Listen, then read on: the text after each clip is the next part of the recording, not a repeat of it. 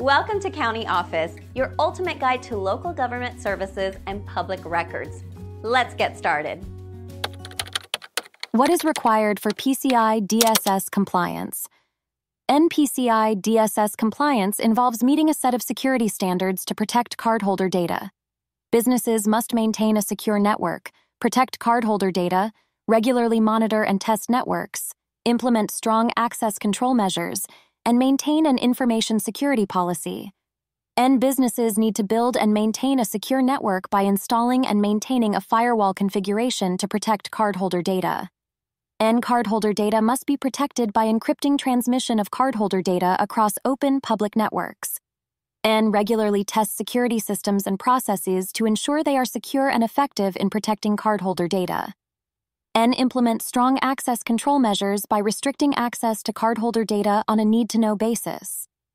N maintain an information security policy that addresses information security for all personnel.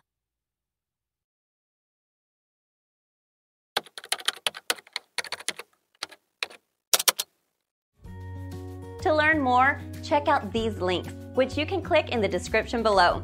And feel free to comment your questions. We're here to help. Thanks for tuning in to our video. Please like and subscribe and leave a comment below. See you in the next video.